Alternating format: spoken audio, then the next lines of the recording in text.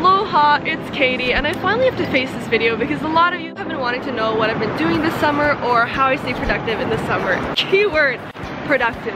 Now, I'm really flattered that you guys think of me like that, but my realistic day in the life, which you also wanted to see, looks a lot like me sitting at my desk reading webtoons. While my friends are out in New York City getting their jobs and internships, I'm out here reading comics. There's also my boba issue. And of course, afterwards, I feel really guilty.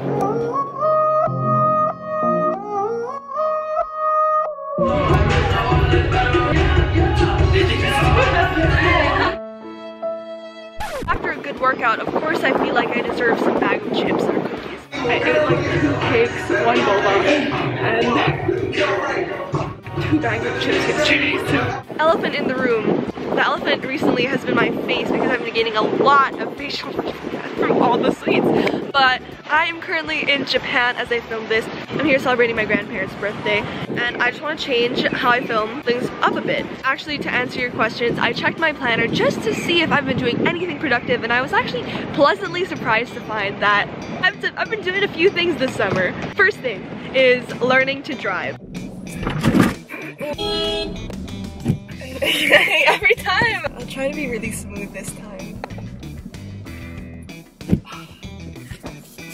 You don't know how to drive? Before you judge me, I grew up in Manila. I just turned 18. That's the age when you can get your license. And did you know that Manila is the most densely populated city in the world? How fitting that the traffic comes by, you know, for that sound effect. Check Wikipedia, so reliable. To make things harder, I'm learning to drive manual transmission, not automatic with just your gas and brake. I have to factor in the clutch pedal and that changes everything. Second thing is I've been learning Tagalog. Wala na, wala na patay yung engine. Hindi na sira yung Hindi na namamatay, hindi na nag-off. Hindi, no, office English. Hindi na namamatay. Gusto ko Tagalog. Uy, hindi na mamatay yung makina ko. Even though I've been surrounded by Tagalog my whole life, I can understand it. I never had to learn how to speak it because thankfully most people in the Philippines know how to speak English. We are the third or fifth largest English speaking population in the world. So honestly, I took that for granted and I would just respond in English, but now I want to make the extra effort to actually learn this language because there's so many nuances and things that I feel like I can't express in English that I can in Tagalog. Third thing is traveling, spending time with my family that I don't see 75% of the year. And you know your typical overprotective Asian parents who want every second with you.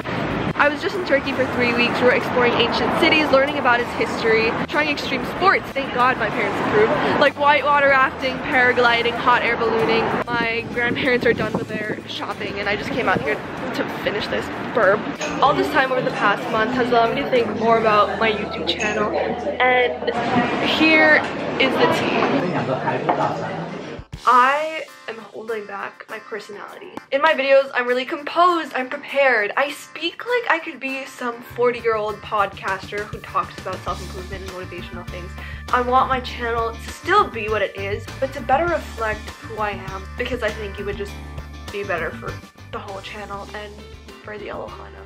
I've also been working on projects. There's this really exciting one, especially if you're an international student, about how to study abroad in the US like I am because we get a ton of questions all the time about the college application process. I know it's really different. There's a lot of concerns about financial aid and being able to afford college. So all of that is going to be bundled up in a really exciting collab with Education USA really soon. It's going to be really comprehensive guys. Eight videos so that you guys actually get the information you need to seriously start applying for college. That is going to be rolled out around late August to early September, so just stay tuned on my channel. Follow me on social media at because I will definitely be posting about it when it is time. The last thing is I am bringing my second channel back. I'm telling you all this right now about how I want to do more personal videos, but I know I can't just make the shift. Realistically speaking, a lot of you guys are subscribed to this channel because of my college content, school tips, YouTube 101. I understand that and I'm so grateful if you even subscribe to this channel. So I'm gonna stay true to that. But at the same time, I'm gonna be working on more me videos hopefully so I can see if this side of me is something that I want to show on camera or that you guys can understand. My brother said I look like Cleopatra today. We'll see, but I would really, really appreciate your support on my second channel. Like, that would mean so much. Only if you really care, because if you don't care, that's cool. Like, stick to not caring, I'd rather you just be real about it. For those of you who are interested, I will see you on that channel and I will see you on this with a ton of uploads. Two videos a week this summer, okay? From this video onwards, I hope that you notice some changes on my channel. I hope that I'll be more excited, more unfiltered, more weird, more, I don't know, I might be more controversial. Like, I'm ready to be who I am. Now, my question is for you. What are you going to do this summer? Continue your YouTube marathon, which is totally acceptable. Or get out of whatever comfortable position you're in right now and go and seize the day. Bye guys, love you so much. Thank you for sticking by me.